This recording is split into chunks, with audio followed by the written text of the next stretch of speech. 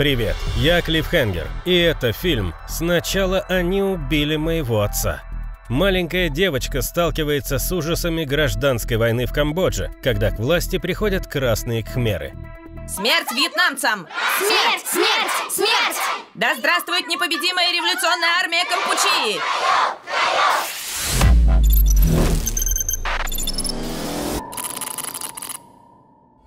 Фильм, основанный на реальных событиях, начинается с архивных кадров и записи президента Ричарда Никсона, которые рассказывают о Камбодже, соседнем с Вьетнамом государстве. Вторжение американских вооруженных сил подтолкнуло страну к гражданской войне. Одной из сторон стали красные khmerы. Шаг за шагом они одерживали победу в противостоянии, окружив столицу Пномпень.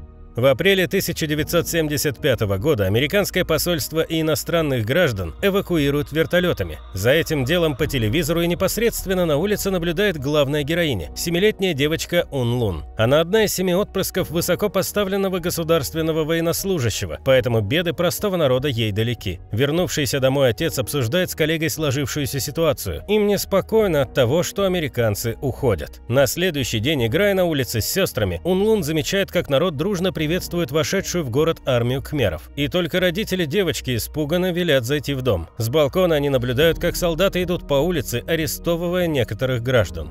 Семья Унлун быстро пакует чемоданы и спускается на улицу.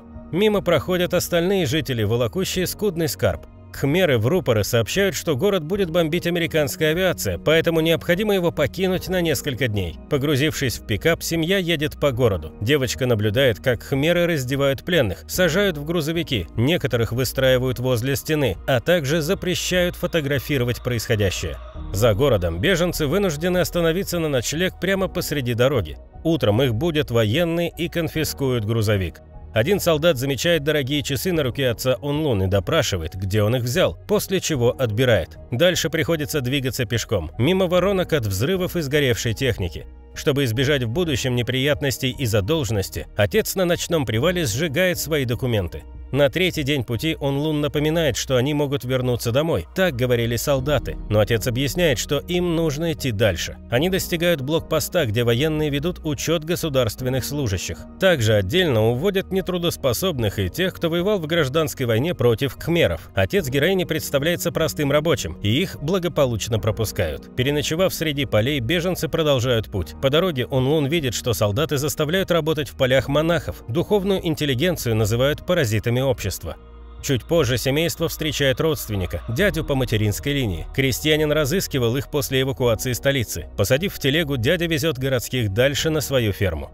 На месте Улун отмечает, что родственники-то бедны, на что отец наставляет. Теперь они тоже бедны, поэтому никаких разговоров о классовом неравенстве. Разместившись, взрослые обсуждают дела. Городские, уходя, не слышали звуков бомбежки, зато сельские жалуются, что на их поля американцы часто скидывали бомбы. Именно это сподвигло большинство сельских жителей поддерживать красных хмеров. Дети в это время играют с жуками. Перевернутые на спину и беспомощно дрыгающие лапами насекомые олицетворяют собой текущее положение Унлун и ее семьи.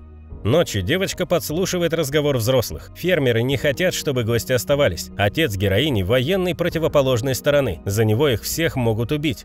Поэтому днем городские покидают дом, запасшись на дорогу едой. Добравшись до лагеря беженцев, они располагаются на ночлег, обсуждая падение Сайгона и проигрыш американцев в соседнем Вьетнаме. Разговоры прерываются появлением грузовиков. Людей грузят в кузова и везут дальше. Утром их высаживают в новом месте, где солдаты перераспределяют народ. Беженцев на телегах везут к сельхозугодиям, отбирая ручную кладь под видом борьбы с частной собственностью. Затем прибывших определяют в трудовой лагерь под чутким надзором вооруженной охраны. Первым заданием является постройка жилья, а также перекрашивание одежды при помощи ягод. У всех должна быть одежда одинакового цвета, в пику эгоистичному индивидуализму. Начинается обычная лагерно-трудовая жизнь. Кормежка по расписанию, работа ради общего блага. К физическому труду на свежем воздухе, облагораживающему человека, привлекают и детей. Они отрабатывают пайку возделыванием рисовых полей. По вечерам политрук проводит агитационные сеансы ликбеза.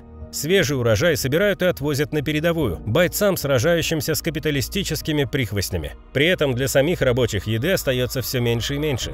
Старших братьев и сестру Унлун вскоре переводят в другие лагеря. Однажды днем дети находят возле берега разлагающийся труп со связанными руками. Видимо, его казнили. На уборке овощей героиня становится свидетельницей наказания девочки, которая съела несколько горошин. Вечером отец с братом выбирает из карманов краденое зерно, чтобы сделать запасы на черный день. Также они варят насекомых, чтобы не протянуть от голода ног, мечтая, что когда-нибудь вернутся домой и наедятся в волю. Он Лун даже снятся сны о накрытом столе, полном изысканных яств. Проснувшись среди ночи, героиня от голода забирается в отцовскую заначку и съедает рис. Утром пропажу замечают. Понимая, что это дело рук девочки, отец ее не ругает, но от брата воспитательную затрещину она получила. Отцу приходится примирить детей. Однажды мать Он Лун получает разрешение навестить старшую дочь в другом лагере. Она отправляется туда вместе с детьми. Первое, что они видят – множество умерших и больных на койках самодельного госпиталя. Среди них и сестра героини. Она еще жива, но силы покидают ее. Позже, когда они работали в поле, матери сообщают, что больная дочь скончалась. Он Лун видит со своей грядки, как мама рыдает. Девочка интересуется у другой сестры, что происходит с людьми после смерти, и та рассказывает о реинкарнации. За отцом Он Лун приходят двое конвоиров. Они уводят его якобы на ремонтные работы по восстановлению моста. Попрощавшись с супругой и детьми, мужчина уходит в неизвестность. Девочка смотрит, как он удаляется в лес и зовет его, но безрезультатно. Отец даже не обернулся. Ночью ей снится сон, как конвоиры казнят отца и сбрасывает тело в яму, полную трупов. Посреди ночи младшая дочь просит еды у матери. Старшему из оставшихся братьев приходится красться на поле, чтобы украсть хоть что-то. Его ловит патруль и избивает, что видит он Лун. Она шла следом за братом. Избитого мальчишку отмывают от крови, пока он извиняется за то, что не достал еды. Понимая, что если так и дальше будет продолжаться, то они просто умрут от голода. Мать велит детям бежать в разные стороны, чтобы добраться до других лагерей и представиться там бездомными сиротами. На прощание мать раздает им семейные фото, чтобы они помнили о своих родственниках. Под покровом ночи дети покидают лагерь и уходят в лес. Добравшись до статуи, которой снесли голову в рамках дебудизации, дети молятся и разделяются. Брат идет в одну сторону, сестры в другую. Вскоре они натыкаются на полевой лагерь кхмеров. Солдаты направляют их к следующему трудовому лагерю. На новом месте они встречают женщину, которая присматривает за работниками. Она тут же определяет им место и обязанности. На обеде героиня представляется другим именем, как и наказывала мама. Позже, во время агит-просветки, дети вскидывают руки вверх в революционном приветствии Кампучии. Перед сном девочки рассматривают фотографии и нюхают припрятанное ранее платье, единственное напоминание о счастливой жизни в столице.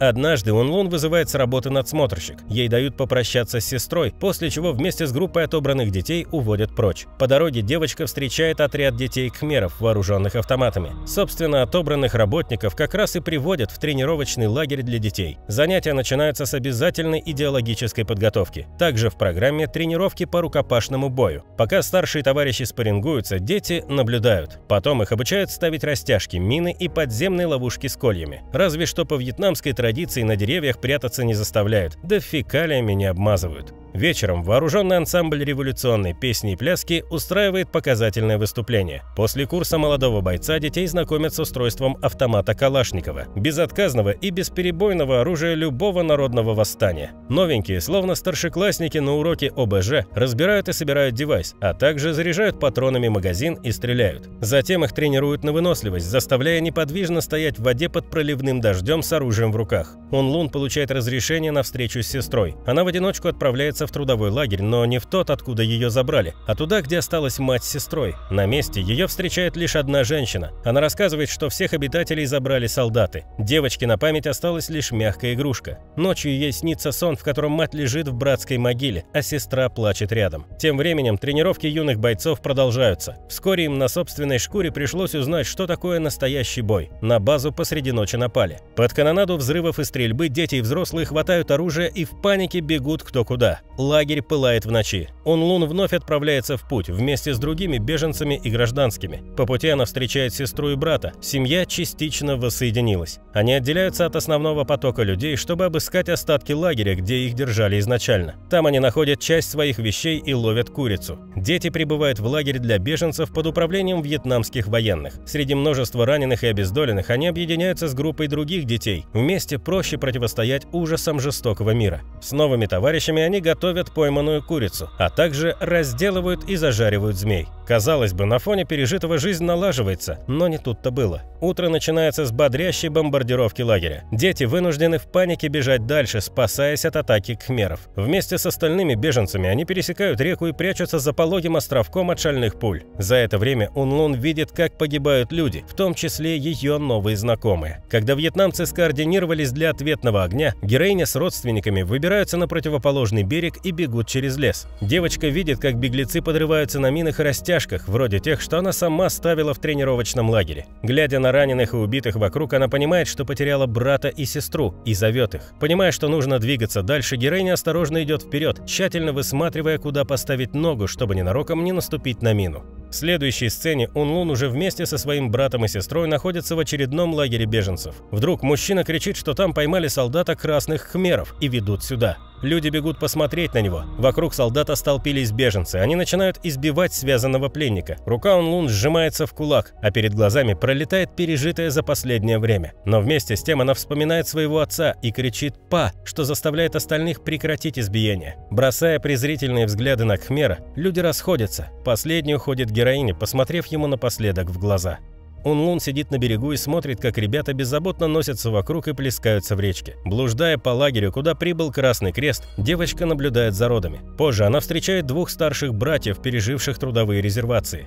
В финальной сцене уже повзрослевшие Унлун, ее братья и сестра молятся на руинах буддистского храма вместе с монахами. Камера поднимается все выше и выше, оставляя выживших скорбеть о потерянных во время правления красных кхмеров родственников. Фильм заканчивается исторической справкой. Почти 3 миллиона тонн взрывчатки было сброшено военно-воздушными силами США во время тайных бомбардировок на сохранявшую нейтралитет Камбоджу. За время правления красных хмеров в стране была уничтожена четверть всего населения.